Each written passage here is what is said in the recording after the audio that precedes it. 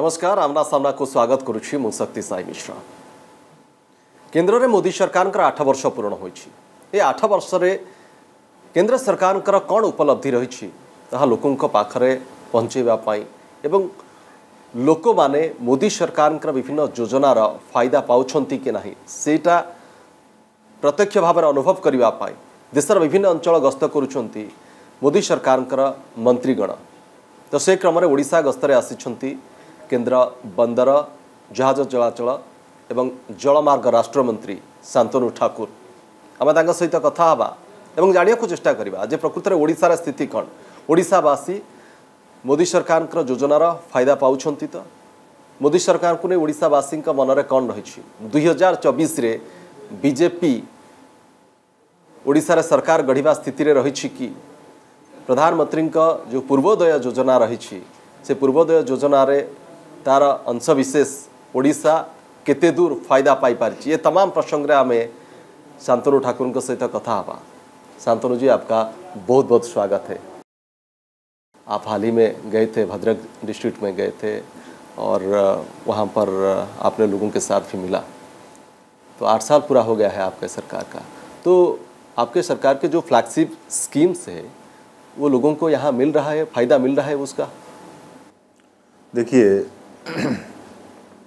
पिछले आठ सालों में भारत सरकार ने जो मतलब कि प्रोजेक्ट और जो जितने सारे हमारे स्कीम्स हैं, वो तो पूरे इंडिया में हर एक राज्य में लागू करने का प्रयास कर रहे हैं। जहाँ जहाँ हमारे सरकार हैं स्टेट में, वहाँ तो संपूर्ण रूप से लागू वहाँ है। लेकिन ये जो जगह है खास करके ये जगह पश्चिम बंगाल, ये सब जगह में उसको अच्छी तरह से लागू नहीं कर पा रहे हैं।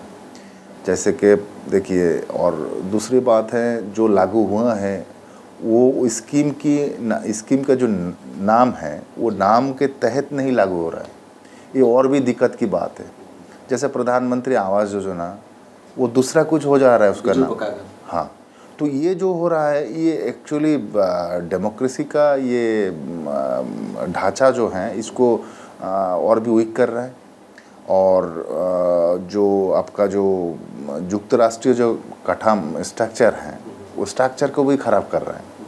तो ये एक बहुत बड़ा दुख की और दिक्कत की भी बात है कि ये चेंज हो जा रहा है। जैसे आयुष्मान भारत यहाँ लागू नहीं हुआ है। ये सही नहीं है। लेकिन मेरे ख्याल से अगर डबल इंजन के सरकार बनता है डबल इंजन का सरकार होता है तो सेंट्रल गवर्नमेंट का प्रयास और प्रोजेक्ट और जो स्कीम्स हैं वो स्टेट में लागू किया जा जा सकता है इजीली तो इसीलिए जो स्टेट गवर्नमेंट का जितने सारे स्कीम्स है इससे वंचित हो रहा है। ये आ, लोकल जो हमारे जितने सारे पॉलिटिकल दल का जो सरकार हैं इसके कारण। तो ये एक, त, एक तरफा देखा जाए कि आम आदमी के लिए बहुत बड़ा दिक्कत का बात है।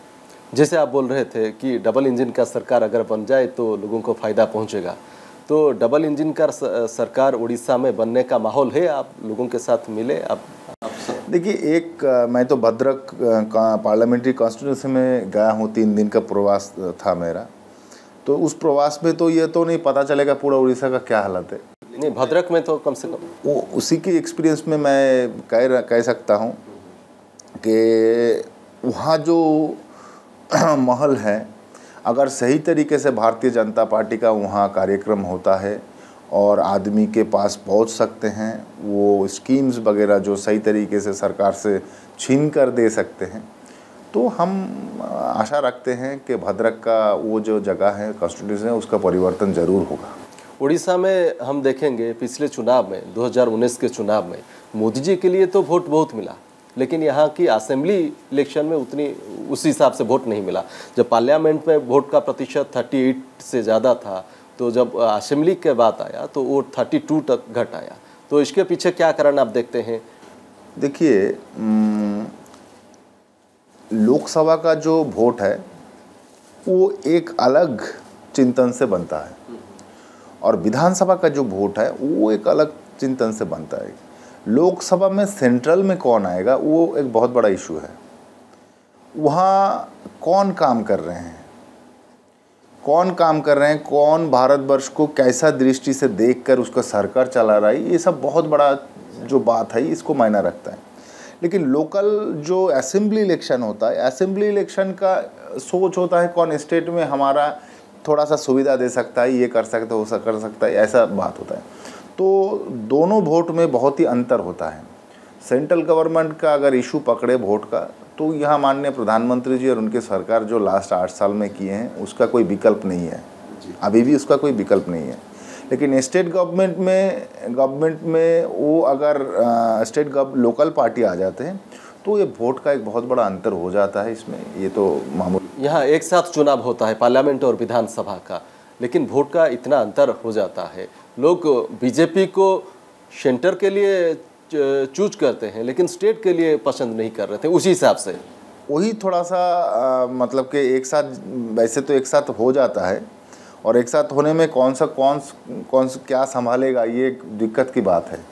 सेंट्रल गवर्नमेंट का वोट कराए या स्टेट गवर्नमेंट का वोट कराए? तो इसमें से सेंट्रल गवर्नमेंट को आदमी चूज़ कर लेते हैं स्टेट गवर्नमेंट को दूसरे को चूज़ कर लिया है जैसे कि उनका भी एक फ्लो रहता है क्योंकि स्टेट गवर्नमेंट स्टिल यहाँ का गवर्नमेंट है तो उनका एक दबाव बन के रहता है। हम आशा रखते वो भी टूट जाएगा। अगला चौबीस में इसका भी थोड़ा सा परिवर्तन होगा। मोदी जी को लेकर उड़ीसा के जहाँ आप गए थे भद्रक पार्लियामेंट्री कंस्टिट्यूंसी में मोदी जी को लेकर लोगों के मन में क्या भाव है? देखिए माननीय प्रधानमंत्री जी एक अलग टाइप का व्यक्तित्व है। जो व्यक्तित्व एक हज़ार साल में एक बार आते हैं ऐसा व्यक्तित्व जन्म लेते हैं। क्योंकि हम लोग सिर्फ़ बोल नहीं रहे हैं। अनुभव कर रहे हैं और देख भी रहे हैं। आगे जाके अगला 20 साल में 30 साल में भारतवर्ष कहाँ पहुँचेगा, ये एक चिंतन होता है और उसका कैलकुलेशन हम लोग कर चुके हैं। तो वो कैलकुलेशन के तहत और मापकाठी बंधन में अगर हम लोग सोचेंगे तो देख रहे हैं कि आगे जाके भारतवर्ष का स्थान विश्व में एक बहुत मतलब एक, दो, तीन ऐसा नंबर में आने वाले हैं। और उसका जो कर्म पद्धति है, वो कर्म पद्धति अभी से शुरू किया गया है। और वो कर्म पद्धति शुरू किए गए हैं हमारे प्रधानमंत्री जी के मार्गदर्शन से तो एक नज़र में, एक बोली में हम बोलेंगे कि हमारे माननीय प्रधानमंत्री जी का विकल्प कोई नहीं है। जितना दिन ज़िंदा रहेंगे, उतना दिन ही भारतवर्ष के लिए बहुत बहुत आगे बढ़ने का एक लक्ष्य मात्रा एक आदमी के द्वारा होगा, ये एकदम निश्चित है। कुछ दिन पहले गृह मंत्री अमित शाह जी ने बोले कि 40 साल तक बीजेपी को यहाँ सत्ता पे रहना है। तो ये आपको लगता है किस आधार पर बीजेपी और जो 40 साल तक अगर राज करेंगे देश में तो बंगाल उड़ीसा ये दोनों प्रदेश का रोल कैसा रहेगा? देखिए हमारे माननीय गृह मंत्री जी जो बोले हैं, वो बहुत सोच समझ के बोले हैं। क्योंकि भारतवर्ष का जो स्ट्रक्चर है डेमोक्रेटिक एंड रिपब्लिक बोथ ही हैं। तो उसके नाम पे जो सही होना चाहिए था पिछले साठ साल में, हम सिर्फ़ आठ साल आए हैं। साठ साल में, पैंसठ साल में जो हुआ है, वो काफ़ी नहीं है।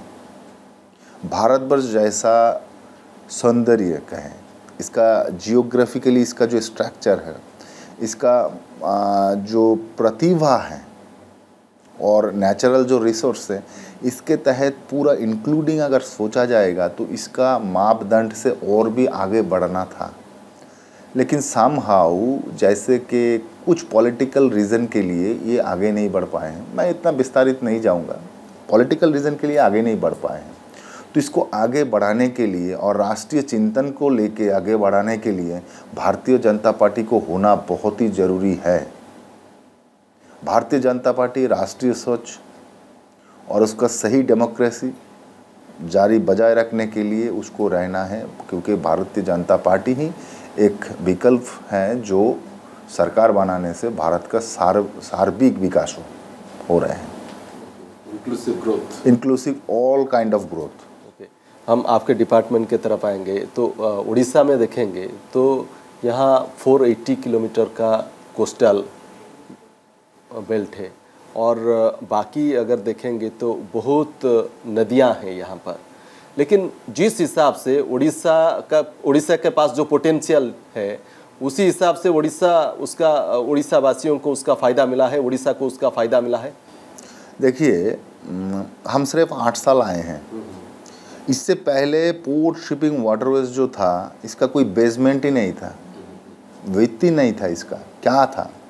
एक ट्रांसपोर्टेशन के साथ इसको ऐड किया गया था रेल मिनिस्ट्री के साथ इसको ऐड ऐड किया गया था तो इसका जो पर्सनैलिटी है और पर्सनैलिटी के तहत जो काम किया जाएगा, ये बंद हुआ था। इसीलिए मैं कह रहा हूँ, भारतीय जनता पार्टी को और भी तीस से चालीस साल रहना इधर। ये पहली बार कोई प्रधानमंत्री हैं भारत वर्ष वर्ष का, जिस, जिन्होंने सोचे हैं कि ये डिपार्टमेंट इतना बड़ा मायना रखता है पूरा भारतवर्ष का आर्थिक, भौगोलिक और विकास के लिए तो उसके लिए इसको अलग डिपार्टमेंट करके इसको एक बहुत महत्वपूर्ण जगह दिया जाए कि विश्व दरबार में ये जो डिपार्टमेंट है मैरीटाइम सेक्टर एक बहुत बड़ा भारत भर को रेवेन्यू जनरेट कर पाए और इसके द्वारा एक बहुत बड़ा ट्रेड हो पाए। तो इसीलिए इस बार हमारे माननीय मंत्री जी सर्वानंद सोनोवाल जी को एमआईसी कर दिया गया है और हम दो मिनिस्टर हैं एम साथ में। तो इसका डेवलपमेंट सिर्फ़ सिर्फ़ उड़ीसा में नहीं, पूरे भारतवर्ष में कोस्टल एरिया में किया जाए ऐसा सोचा जा रहा है। अभी तो स्टार्टिंग है। इसलिए सागरमाला के तहत हम लोग जितना कोस्टल एरिया का डेवलपमेंट कर पाएँगे वो करेंगे। और ख़ास करके उड़ीसा एक ऐसा जगह है जहाँ जहाँ इंटरनेशनली ये कोस्टल एरिया में बहुत अच्छा पोर्ट बन सकता है। और यहाँ से इंटरनेशनली बहुत अच्छा ट्रेड कर सकते इसलिए आप देखिए पा, पारादीप का बहुत अच्छा रिज़ल्ट है। ऑस्ट्रेलिया से कहे, इंडोनेशिया से कहे, बहुत जगह से कोल आता है, यहाँ लोडिंग अनलोडिंग होता है, इसलिए अच्छा बार्थ भी वहाँ बनाए बनाया जा रहा है, जहाँ लोडिंग अनलोडिंग हो सके। तो ऑल इंक्लूडिंग हम सोच रहे हैं कि उड़ीसा का डेवलपमेंट होगा, बहुत बढ़िया तरीके से डेवलपमेंट होगा। इसका ही मैप और ब्लूप्रिंट हम लोग तैयार कर रहे हैं। आगे जाके आप देखिए, बहुत बढ़िया काम होगा इसका। महाराष्ट्र में अगर देखेंगे तो मेजर और नॉन मेजर पोर्ट के संख्या 53 अराउंड है। गुजरात में 40 तमिलनाडु में 15 कर्नाटका में 10 लेकिन उड़ीसा में उस हिसाब से क्यों नहीं है? नहीं इसके पीछे क्या कारण आप इसके इसके पीछे हम लोगों को मतलब आप बोल रहे हैं ठीक है तो पहले से इसका ग्रोथ और क्वांटिटी को आपको समझना होगा। जो होके आए हैं उसको हम घटा नहीं रहे हैं उसको हम बढ़ा रहे हैं बढ़ा रहे हैं। नहीं, नहीं मैं वही जानना चाहता हूँ। उड़ीसा में नहीं बढ़ पाया उसके पीछे सिर्फ़ मैं आठ साल का बात नहीं कर रहा हूँ। ये तो जितने बने हैं बाकी राज्य में ये तो आठ साल के अंदर तो बहुत बड़ा है आप जैसे बोल रहे हैं सागरमाला योजना के अंदर। लेकिन वो उड़ीसा के पास जो पोटेंशियल है उसी हिसाब से उड़ीसा उसका फ़ायदा नहीं मिल पाया। उसके पीछे क्या कारण आपको दिखता है? देखिए पिछले जो सरकार थे वो बंगाल सिर्फ़ उड़ीसा नहीं बंगाल उड़ीसा में डेवलपमेंट के बारे में सोचे ही नहीं। मेरे हमको पता नहीं है कि उसने डेवलपमेंट के बारे में नहीं सोचे हैं। इसका पीछे उन लोगों का ही सोच था, क्या था, दिमाग था, पता नहीं है। फिर सिर्फ़ उस साइड में ही डेवलपमेंट के बारे में सोचे हैं। लेकिन ये हमारे माननीय प्रधानमंत्री जी के नेतृत्व में ये नहीं होगा।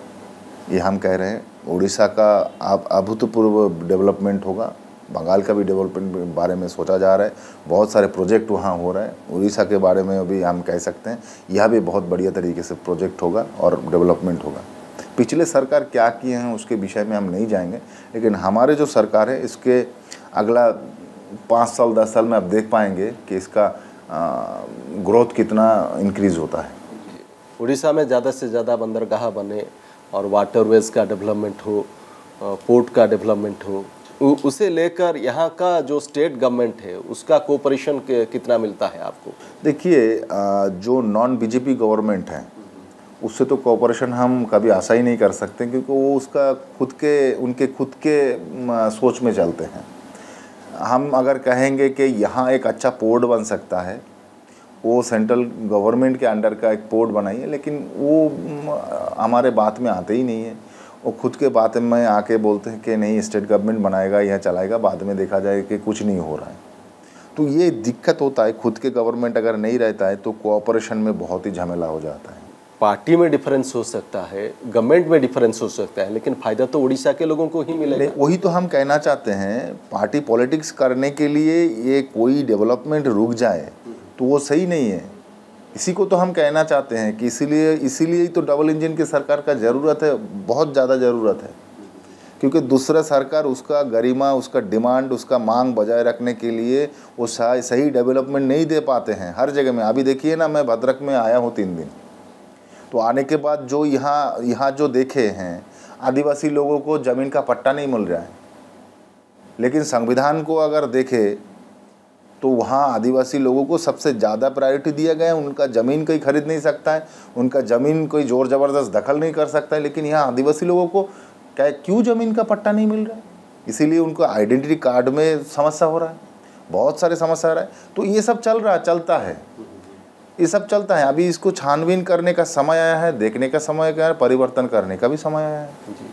आप आदिवासी लोगों से मिले, यहाँ यहाँ के एक आदिवासी महिला को देश के सर्वोच्च पद पर बैठाने का काम आपके दल ने किया है, मोदी जी ने किया है। तो उस डिसीशन को लेकर यहाँ के जो आदिवासी समुदाय हैं, उनके मन में है कि नहीं, मोदी गवर्नमेंट ने हमें ये अनर किया, हमें वो सम्मान मिला? मोदी मोदी जी के तहत? देखिए, माननीय प्रधानमंत्री जी का जो सोच है, वो है भारतवर्ष में एक बैलेंस लाना। देखिए, अगर भारतवर्ष को सही तरीके से चलाना है और भारतवर्ष का सार्विक विकास सोचना है तो सब वर्ग के लोगों को चांस देना है पोजीशन करके देना है कि वो लोग भी उस, उन लोगों का इतने दिनों से डिप्राइव होने का जो बात वो रख सके। पहले अब्दुल कलाम जी थे। उसके बाद हमारे आ, द, आ, दलित समाज से रामनाथ कोविंद जी थे। फिर अभी एसटी समाज से आएँगे। तो ये जो एक बैलेंसिंग बात चल रहा है उसके बाद हमारे माननीय प्रधानमंत्री के प्रधानमंत्री जी के द्वारा सोच ये मैं मानता हूँ भारतवर्ष का सार्वभौमत्व बजाय रखने के लिए और सार्विक विकास के लिए ज़रूरी है और सिर्फ़ यही नहीं है ये एक बहुत बड़ा सोच भी है कि आदिवासी समाज से वो भी एक महिलाओं को महिला को लाकर राष्ट्रपति बनाना पद प्रार्थी बनाना ये मेरे ख्याल से सभी ने इसको एक्सेप्ट करेगा किसी ने इसको डिनाई नहीं करेगा। उड़ीसा के जो आदिवासी है वो उन्हें ये समझ आता है? देखिए सिर्फ़ उड़ीसा का नहीं है पूरे भारतवर्ष का जो आदिवासी लोग हैं, सब, सिर्फ़ वो नहीं है एस समाज, वो भी खुश है, ओबीसी समाज वो भी खुश है, आज ब्राह्मण समाज भी खुश है, हर वर्ग खुश है, क्योंकि एक नीचे मतलब के क्या कहें, पिछ, पिछड़े समाज नहीं आदिवासी समाज का एक बात होता है। और जिनका डेवलपमेंट सबसे ज़्यादा चाहिए, और वहाँ से अगर एक राष्ट्रपति आता है तो मेरे ख्याल से अलग एक दृष्टिकोण तैयार होता है। चंदन जी फाइनली जानना चाहेंगे यहाँ दो रिवर ब्राह्मणी और महानदी यहाँ पर वाटरवेज का काम चल रहा था नेशनल वाटरवेज जो स्कीम है उसके तहत तो वो क्या कहाँ तक डेवलपमेंट उसका हुआ है? जी इसका पूरा आकलन मैं दूँगा। अभी हमारे पास पूरा आकलन नहीं है लेकिन मैं ये जानता हूँ कि उसका ड्रेजिंग का काम चल रहा है। वो नदी में जो सिल्टेजिंग होता है उसका जो ड्रेजिंग का काम वो अच्छी तरह से चल रहा है। और वैसे ये इनलैंड वाटरवेज के अं, अंदर आए हैं तो मेरे ख्याल से आगे जाके आ, मैं पारादीप पोर्ट ट्रस्ट को भी बोला हूँ चेयरमैन को भी बोला हूँ कि थोड़ा सा ये विषय में भी आप इन्वेस्टिगेशन करिए कैसे इसका डेवलपमेंट किया जाए मेरे की तरफ़ से कुछ दिनों से ही ये काम शुरू हो जाएगा और आगे जाके अगला बार मैं जब आऊँगा पूरा आकलन लेके मैं आऊँगा और आपको मैं दे पाऊँगा शांतनु जी, जैसे आप बोल रहे थे डबल इंजन के सरकार के बारे में, बंगाल और प्रधानमंत्री जी का ये सोच है कि पूर्व भारत का विकास होगा तो पूरा भारत का वो, जैसे बाकी भारत का जैसे विकास हुआ है, पूर्व भारत का विकास नहीं हो पाया है। और पूर्व भारत के ऊपर वो फोकस करते आए हैं, जिसके अंदर बंगाल जाता है, उड़ीसा, झारखंड, छत्तीसगढ़ जैसे प्रदेश आते हैं। लेकिन यहाँ पर एक भी प्रदेश में बीजेपी का गवर्नमेंट नहीं है कहाँ भी डबल इंजन का सरकार नहीं है। तो पूर्व भारत में बीजेपी को सरकार बनाना थोड़ा मुश्किल आता है क्या? बंगाल में जैसे बहुत आशा उम्मीद था, सरकार बनाने का नहीं बन पाया। उड़ीसा में भी इसे 2019 में भी पूरा ज़ोर लगा दिए थे, लेकिन नहीं बन पाया। तो क्या दिक्कत क्या है? देखिए, बात जो है कि कहीं कहीं जगह ऐसा होता है कि वहाँ का पब्लिक को अल्प सामयिक जिनिस से बहुत चीज़ से बहुत ही खुश हो जाते हैं वो लोग। एक्चुअल जो वास्तव डेवलपमेंट के बारे में उनको पता नहीं होता है कोई कोई जगह में ऐसा होता है। क्योंकि जहाँ देखिए, अगर वेस्ट बंगाल का बात आप लाए हैं यहाँ, वेस्ट बंगाल में पिछले चौंतीस साल वाम फ्रंट ने राज किए हैं। उसके बाद अभी दस साल, ग्यारह साल हो रहा है। टीएमसी ने किए। तो वहाँ क्या हुआ है? वहाँ जो वास्तव डेवलपमेंट, सेंट्रल का जो डेवलपमेंट ला के स्टेट में कर पाए, पाएँगे, उसका ऑप्शन ही नहीं मिला है। तो आदमी पाँच सौ रुपया से खुश हो जा रहा है। तो ज़्यादातर लोग दरिद्र सीमा के नीचे हैं। तो उनको डेवलपमेंट के बारे में बोले या वास्तव में उनको पाँच सौ रुपया पकड़ा दे, उससे वो चावल डावल खरीद खरीद पाए। तो गवर्नमेंट अगर ऐसे उसको हैंडीकेप करके रखेगा उस जगह में तो आप डेवलपमेंट के बारे में कैसे सोच पाएँगे? पहले हमको तोड़ना है, वो जो हैंडीकेप करके रखना, जो बात चल रहा है, ये लोकल गवर्नमेंट के द्वारा, उसको तोड़ना है। उसको तोड़ने के बाद आदमी को सच्चल करना है थोड़ा सा उसको अपलिफ्ट कराना है। फिर उस, उन लोगों को समझाना है कि सेंट्रल का जो स्कीम है, वो राज्य में लागू होने से क्या क्या फ़ायदा है क्या क्या हम लोग कर पाएँगे। तो इसी का, ऐसा ही समझ, समस्या में हम लोग जूझ रहे हैं। आशा रखते हैं इस बार 24 के चुनाव के बाद अगला जो विधानसभा होगा या 24 का जो यहाँ विधानसभा होगा इसमें परिवर्तन होने वाला ही है। परिवर्तन ज़रूर होगा। ज़रूर होगा। तो फाइनली हम जा, आपसे जानना चाहेंगे और ये फाइनल आपके क्वेश्चन है जो यहाँ पर माहौल आप कैसे देखते हैं? उड़ीसा में लोगों के मन में बीजेपी को लेकर और केंद्र सरकार के काम को लेकर लोग क्या सोचते हैं? देखिए, केंद्र सरकार के काम को लेकर तो किसी को कोई दिक्कत नहीं है। केंद्र सरकार जो काम कर रहे हैं, वो खुलेआम एकदम सभी को समझ में आ रहा है क्या कर रहे हैं। और उड़ीसा के बात अगर बोलिएगा, हर एक ज़िला में तो मैं विज़िट नहीं किया लेकिन भद्रक ज़िला में जो है, वहाँ का लोगों में बहुत उत्साह है, भारतीय जनता पार्टी के पक्ष में। और उत्साह उमंग मेरे ख्याल से वो जगह का अगला 24 का चुनाव में बदलेगा, परिवर्तन होने वाला है। तो शांतनु जी, आपका बहुत बहुत धन्यवाद हमारे साथ जोड़ने के लिए, हमें समय देने के लिए। तो आम सहित थे केन्द्र बंदर जहाज़ चलाचल एवं जलमार्ग राष्ट्रमंत्री शांतनु ठाकुर सहित आम कथा होते एवं से आशावादी दुई हज़ार चौबीस ओडार निश्चित रूपे परिवर्तन होब राज्य एवं बीजेपी କ୍ଷମତାସୀନ ହେବ ଓଡ଼ିଶାରେ ଡବଲ ଇଞ୍ଜିନ୍ ସରକାର ବନିବ ଏ କଥାକୁ ନେଇ ଶାନ୍ତନୁ ଠାକୁର ଖୁବ୍ ଆଶାବାଦୀ ତ ସମୟ ହୋଇଛି ଆମ୍ନା ସାମ୍ନା କୋଇଟ୍ ରଖିବା ପୁଣି ଆସନ୍ତା ସପ୍ତାହରେ ଆଉ ଜଣେ ଏଭଳି ଚର୍ଚ୍ଚିତ ଚେହେରାଙ୍କ ସହ ଆମେ ଆମ୍ନା ସାମ୍ନା ହେବା ବିଦାୟ ଦିଅନ୍ତୁ ନମସ୍କାର